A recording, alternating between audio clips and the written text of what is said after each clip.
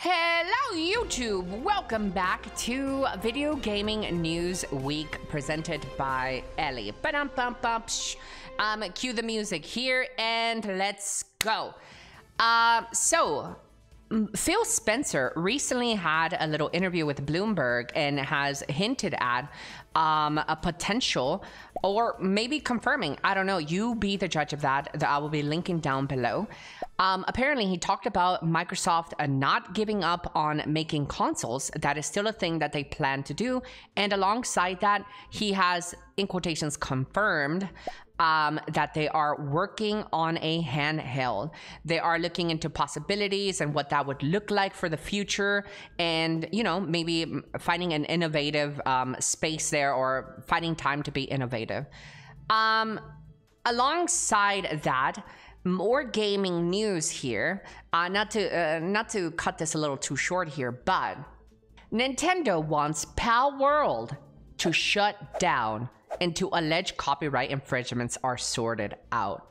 So Nintendo is adamant about pursuing this um, lawsuit against Palworld developers, um, and they are pretty much demanding that they cease all sales of the game. That is crazy. Nintendo is not letting up.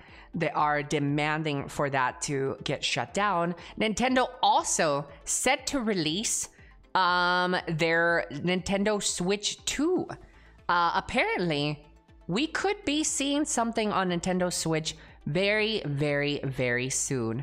Uh, my best guess is that they're going to show it off somewhere around this video game awards um, video game awards are coming right around the corner, and I have a feeling that Nintendo is going to use that opportunity to showcase the Nintendo Switch 2 pricing and everything.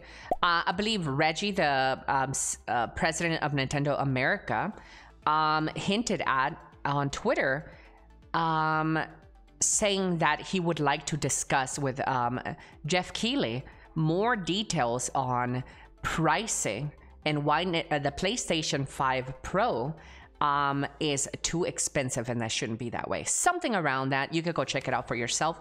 But uh, Reggie has um, definitely tweeted about this.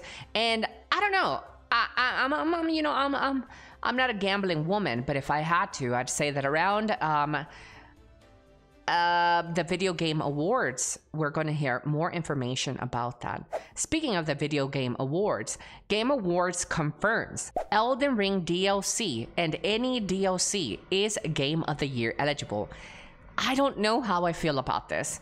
I think this is kind of messed up. I don't think uh, um, uh, uh, expansions or DLCs should be nominated for Game of the Year. What do you guys think in the uh, description below? I personally don't think this is good.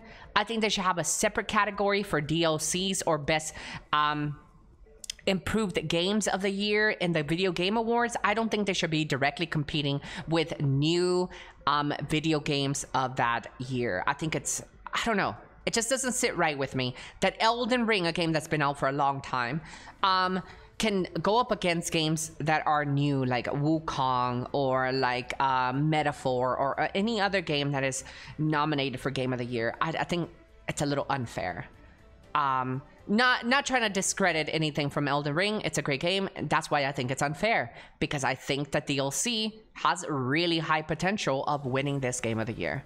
And I don't think it should take the spotlight away from something like Wukong or a, a, a new intellectual property or something that's new out in the market. I think they should have um, some sort of recognition um, and maybe a separate category for, you know, DLCs of the year or something. But that's just my two uh, cents. What do you guys think? Uh, PlayStation 5 Pro launch numbers. PS5 Pro launch sell numbers compared to PlayStation 4 launch numbers, chat. Uh, recent reports indicate that the PlayStation 5 Pro is selling as much as the PlayStation 4 Pro in its early days. Considering the high price of the PlayStation 5 Pro, this seems like a big win for Sony mid-gen upgrade. However, though, if you do a quick little search for PlayStation 5 Pro, you would realize that the scalpers are now um, setting their prices below what they bought uh, the consoles for. Appa- apparently, scalpers are having a hard time moving these consoles, and they are se- selling the consoles underpriced because of it.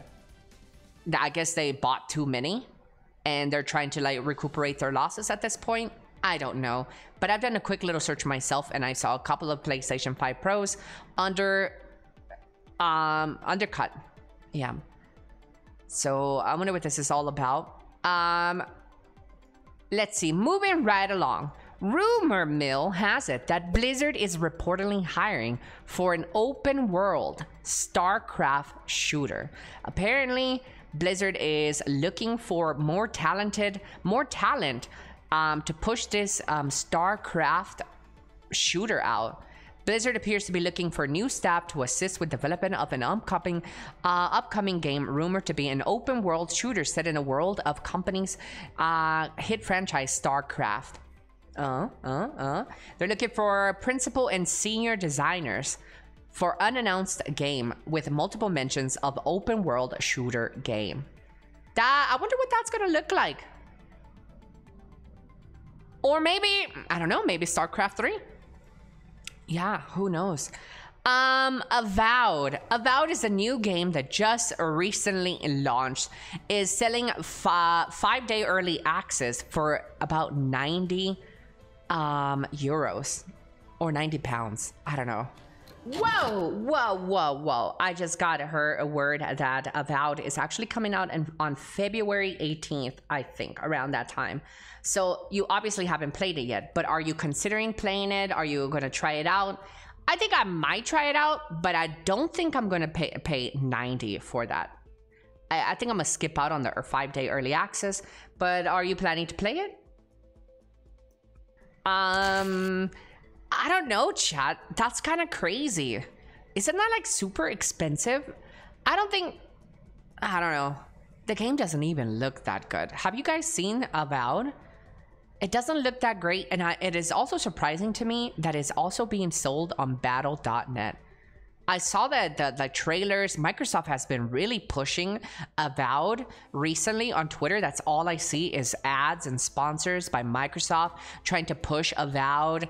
Um, it's on Battle.net as well. I don't know what that's all about. Um, are you excited? Are you interested in playing Avowed? It's it's pretty pretty expensive, man. Five day early access. Um, what is Avowed in a ways? Is that like a an MMO of sorts? What is that? It's an RPG, a new fantasy RPG. I don't know, chat. Have you seen much more of that game? If so, are you planning to play it? Did you get five day early access? Five day early access? Uh, Game of Thrones. Sophie Turner, Sansa, reportedly in talks to play Lara Croft in Amazon's Tomb Raider TV series. Uh, rumor has it that Amazon's live action Tomb Raider TV series might have found its Lara Croft. Following reports last month that Sophie Turner was in the running to play the iconic character, it's now being claimed that Game of Thrones actor has reached the negotiation stage. I don't know, Chad. I don't know how I feel about that. I don't know how I feel about that. I like her in Game of Thrones, and I like her as this like a villain, um, uh, um, dumb character in Game of Thrones. But I don't know how much, how believable she is as Lara Croft, though. It's um, I don't know. I don't know about that decision. I think we need to get um the previous Lara Crofts back in there, no matter how old they are. Bring them back. Alicia Vikander and um, Angelina Jolie. Let's let's get them back. Yeah, yeah, yeah, yeah. Um, and I think that's it for video game of the week. Um, check out the next video where we're going to be taking up part two of the G Star trailers. There's apparently a part two, and we're going to be checking that out. Um, yeah, so thank you so much for checking out this video. Leave it down in the comments down below. What did you guys think? Did I leave any information out of this a week? Um, yeah, thanks.